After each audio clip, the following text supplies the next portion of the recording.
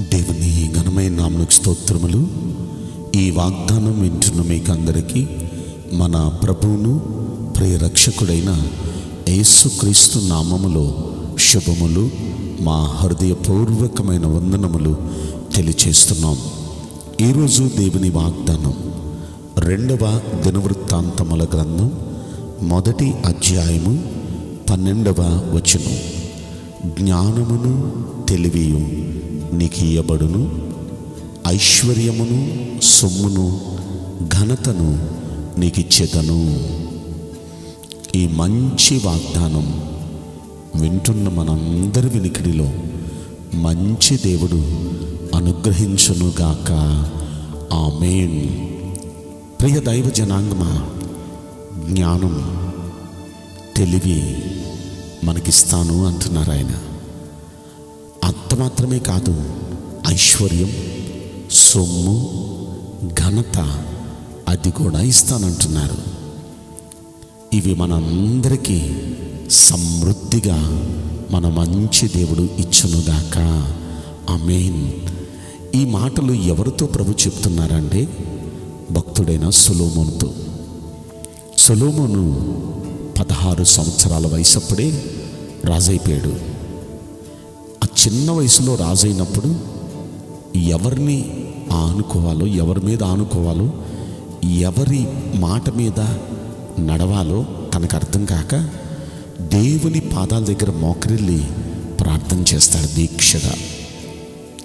అతడు దేవుని పాదాల దగ్గర మోకరిల్లి అలా దీక్షగా ప్రార్థన చేస్తూ ప్రార్థన చేస్తూ ప్రార్థన చేస్తూ ఉండగా దేవుడు అతనికి ప్రత్యక్షమవుతాడు. ప్రత్యక్షమై సొలోమోనా ఏంటి నీ మనవి? నేను నీకేం చేయకూడుతున్నావు అని అడిగాడు. అయ్యా ఇంత చిన్న వయసులో ఇంత పెద్ద బాధ్యతను నా భుజాన పెట్టావు. ఈ బాధ్యతను నిర్వర్తించటానికి నా సామర్థ్యం నా జ్ఞానం సరిపోదయ్యా. కావాల్సిన జ్ఞానం వివేకం నాకు అనుగ్రహించరా అని దేవుని పాదాలు పట్టి అడిగాడు. ఎప్పుడైతే దేవుని పాదాలు పట్టి అడిగాడో దేవుడు మెచ్చాడు అలా అడగటం. ఏదో ఐశ్వర్యం ఏదో ఘనత లేకపోతే శత్రువుల ప్రాణాలు అలాగే ప్రక్క దేశాలు కూడా ఇలా అడుగుంటే మరి దేవుడి ఎలా ఉండేదో దేవుడు మెచ్చేవాడు కాదేమో. కానీ ఈయన ఏమడుగుతున్నాడంటే మీరు అప్పగించిన బాధ్యతను సక్రమంగా నిర్వర్తించగలిగిన జ్ఞానం వివేకం నాకు అనుగ్రహించరా అని అడిగాడండి. అలా అడగటం దేవునికి నచ్చింది. నచ్చేటప్పటికి దేవుడు అంటున్నాడు శభాషయ నాకు నచ్చావు.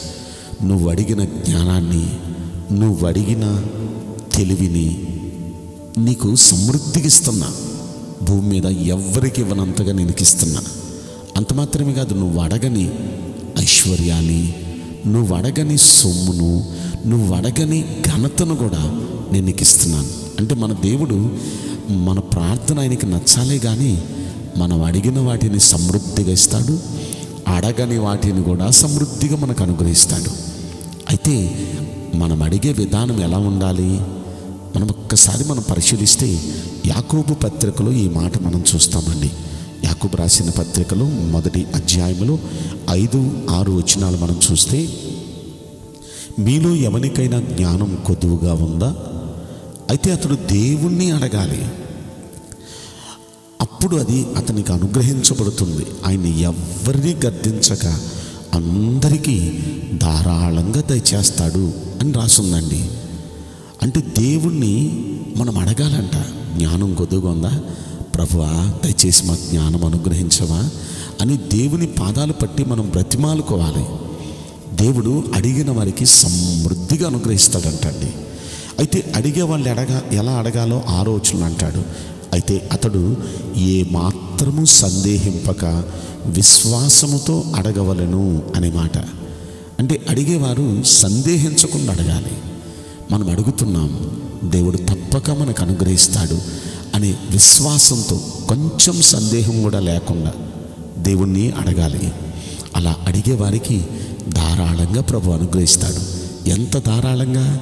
ఇదిగో సొలోమోనుకు ప్రభు ఇచ్చారు కదా అడిగిన వాటిని ఎవరికివ్వనంతగా అంత మాత్రమే కాదు అడగని వాటిని కూడా. మన దేవుని మనస్తత్వం ఎలాంటిదంటే ఎఫ్ఎస్సీలకు రాసిన పత్రికలో మూడవ అధ్యాయంలో ఇరవై వచ్చుల్లో ఆయన మనస్సును మనం చూస్తాం.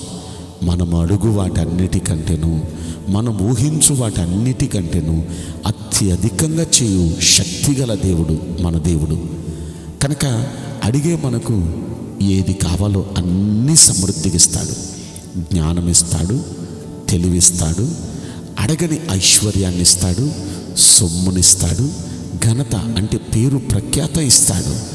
ఎప్పుడు అంటే మనం విశ్వాసంతో అడగాలి. ఏ మాత్రం సందేహించకుండా అడగాలి. కనుక ఈ రెండు పనులు చేద్దామా? ఒకటేమో ఆయన అడగాలి. రెండు విశ్వాసంతో అడగాలి. కనుక అలా విశ్వాసంతో దేవుణ్ణి ప్రార్థించి దేవుని ద్వారా వీటన్నిటిని పొందుదాం. వీటిని పొందితే మనంతటి ధన్యులు ఎవరున్నారండి? కనుక ఈ ఐదు మనం పొందుకుందాం. జ్ఞానం తెలివి ఐశ్వర్యం సొమ్ము ఘనత. ఈ ఐదు ఈ వాగ్దానం వింటున్న మనలో ప్రతి వ్యక్తికి సమృద్ధిగా దేవుడు అనుగ్రహించునుగాక. ఆమె నేను మీకోసం ప్రార్థన చేయబోతున్నాను. పరిశుద్ధుడా ప్రేమగలేసురాజా మీ పరిశుద్ధ బంగారు పవిత్రమైన నామ్మునకు నిండు మనసుతో కోట్ల కొలదిగా స్థుతులు స్తోత్రములు వందనాలు చెల్లిస్తున్నాం. ఈ వాగ్దానం వింటున్న ప్రియుల జీవితంలో దయచేసి ఈ వాగ్దానం నెరవేర్చి ఈ ఐదింటిని వారికి సమృద్ధిగా అనుగ్రహించి మేలులతో తృప్తిపరచమని మా ప్రార్థన ఆలకించినందులకు అంగీకరించినందులకు కోట్ల కొలదిగా కృతజ్ఞతా స్తోత్రములు చెల్లిస్తూ నసురైన యేసుక్రీస్తు ప్రశస్తమైన నామములో మిక్కిలి వినయముతో ప్రార్థించి బ్రతిమలాడి వేడుకుంటున్నాం. ప్రియ పరలోకపు తండ్రి amen may God bless you all thank you